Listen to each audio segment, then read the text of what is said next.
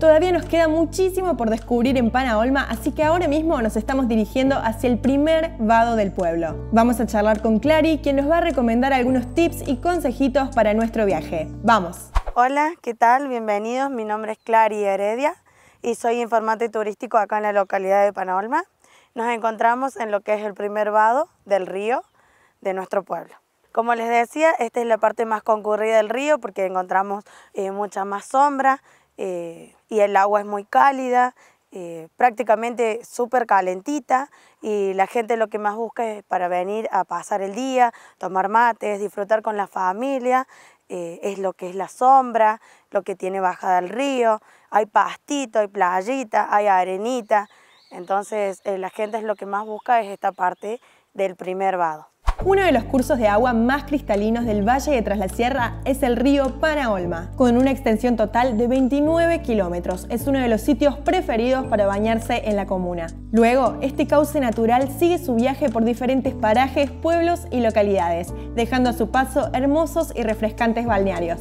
Para disfrutar con la familia entera o con tus amigos. Sí, señor siguiendo por lo que es el río, en la tablita, cruzando a mano derecha, tenemos lo que son las ruinas de la antigua casona de los Recaldes, donde venía el cura brochero, más conocido como el Santo Brochero, para nosotros algo muy muy especial, donde él venía y se hospedaba y, pasaba sus días eh, ayudando a la gente de acá, de los parajes más cercanos.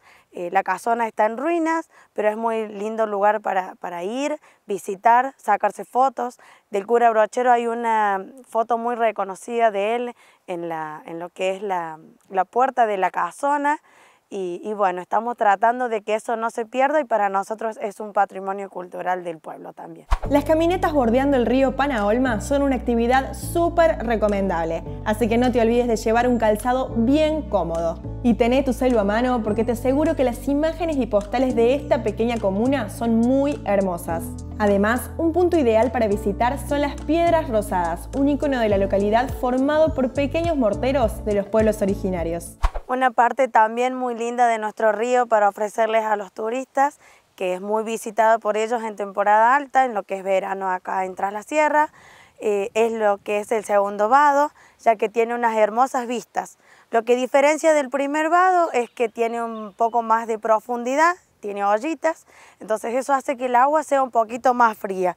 Pero la gente es de visitarlo mucho ya que puede ir, tirarse, andar en bote, en kayak, en lo que más desee. También tenemos paradores eh, donde pueden estacionar sus vehículos y comedores con comidas típicas para ofrecerles. Y bueno, en esta parte final del recorrido por nuestro hermoso pueblo, los quiero invitar, quedan cordialmente invitados todos los viajeros a venir a conocer nuestras hermosas sierras, nuestro hermoso río y desde ya muchísimas gracias.